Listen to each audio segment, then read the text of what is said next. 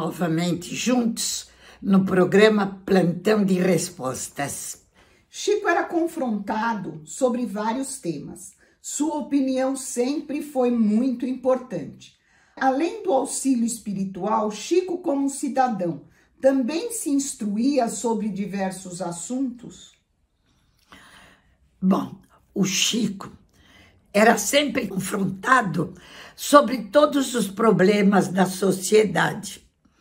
Então, ele tinha que se manifestar e ele sempre usava a opinião e me ensinou a fazê-lo.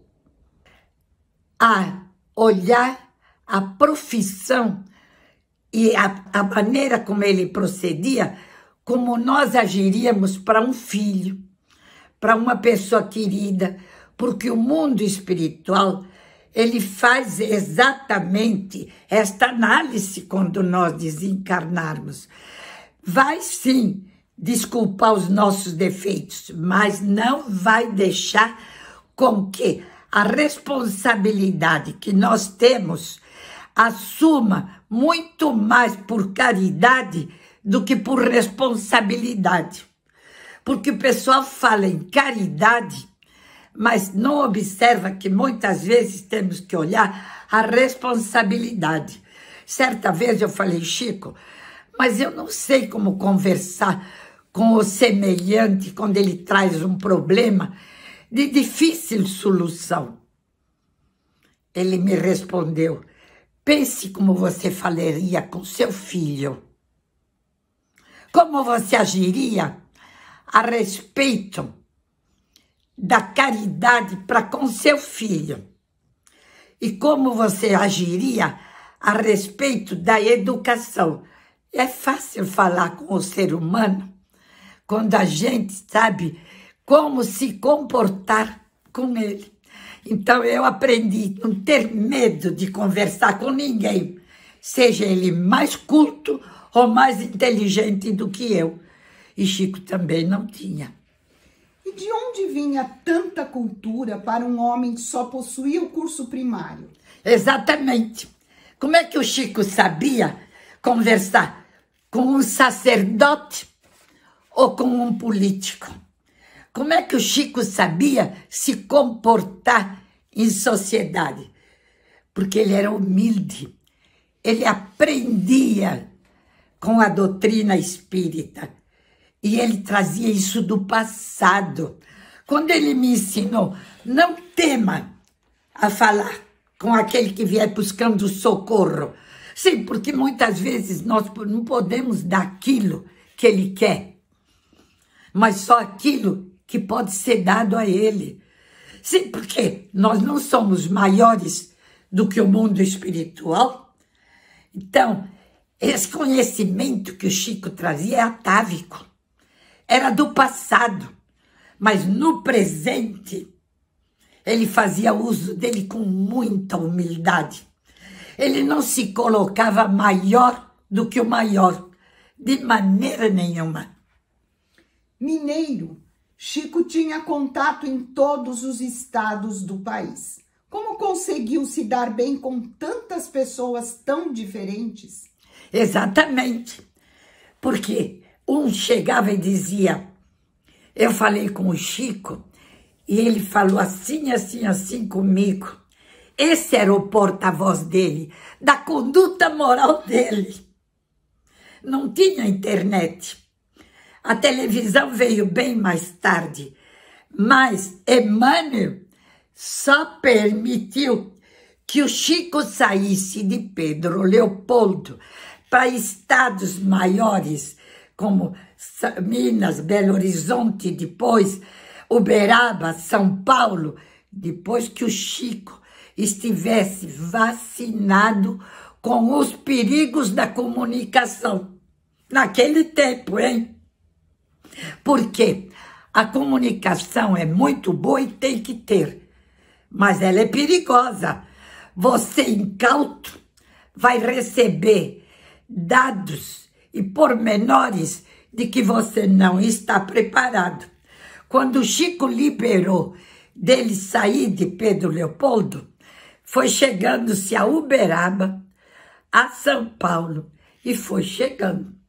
Então, Chico conta que as primeiras viagens a São Paulo foi realmente até engraçadas, porque Chico não estava preparado. Depois ele foi à Europa, à França. Então, exatamente. Mas Emmanuel não soltou a rédea assim. Por isso que nós dizemos, dizer, bom, Chico era maior que Emmanuel, mas por que que o Chico obedecia cegamente Emmanuel? Talvez porque reconhecesse que o seu mentor era maior. Eu não sei. Quem avalia essa espiritualidade só o mundo espiritual. Chico tinha diversos tipos de mediunidade, mas dedicou sua vida aos livros, à psicografia. Por quê? Bom, no início, ele fez cura, materializações, ele exercia todas essas mediunidades. Depois, em favor da obra que nós temos hoje, Emmanuel pediu a ele que deixasse essas outras. Chico adorava fazer materializações. Você vê como Chico obedecia Emmanuel. Chico gostava. Chico tinha uma materialização maravilhosa que é o transporte. Pertence também a, a efeitos físicos. Mas Emmanuel falou: você tem que ficar na obra para deixar.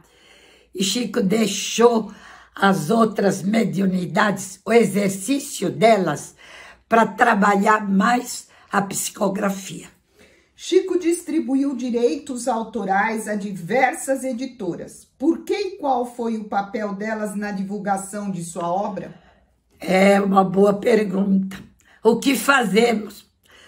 Porque o Centro Espírita União também tem Cultura Espírita União. O que fazemos dela? Chico não ganhou, nunca. Para ele, um centavo com as obras psicografadas. É preciso ter conta o que é que as editoras estão fazendo com o dinheiro que ganham. Eu já me perguntei também, porque, como disse, nós também temos uma. Seria acumular o dinheiro para quê? Editora espírita tem que ter a responsabilidade que ela ganhou de graça. Ela tem que vender o livro, mas o lucro tem que ser colocado em favor da doutrina.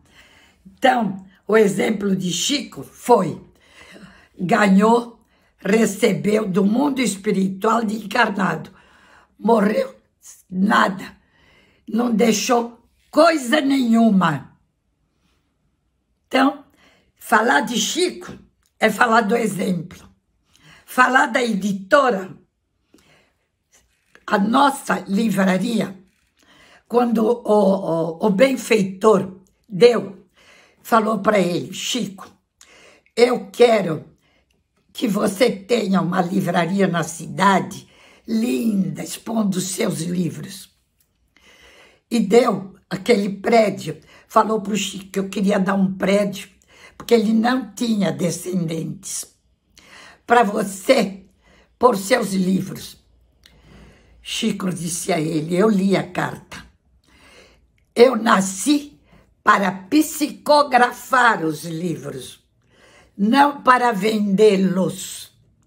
Se você me permitir, eu darei esse prédio a um casal merecedor de trabalhar estes livros. Eu não posso. Eu nasci para psicografá-lo.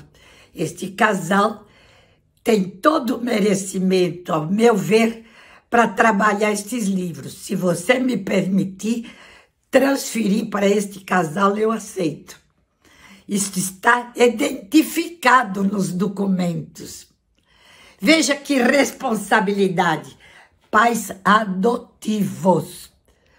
Então, Exemplo, Chico Xavier. Há risco de Chico Xavier ser esquecido no Brasil? Como podemos preservar sua memória? Com a nossa moral, com a nossa conduta, com a nossa possibilidade não só de falar bem, ou de falar bonito, ou de dizer o que eu tive contato com o Chico, mas me pergunte do dia a dia o que eu fiz com o aprendizado da vida de Chico. Isso é que é importante. O que será que a Nena fez e o Galves em 50 anos de vida em contato com Chico Xavier? Na primeira pergunta é dito: o seu contato foi foi muito grande e sempre procuro aliar os obstáculos ao que eu aprendi com ele não ao desejo, mas ao sentimento. Eu quero ser uma boa discípula. Se ainda não sou, mas espero corresponder hoje, agora e sempre. Até a próxima vez, se Deus quiser.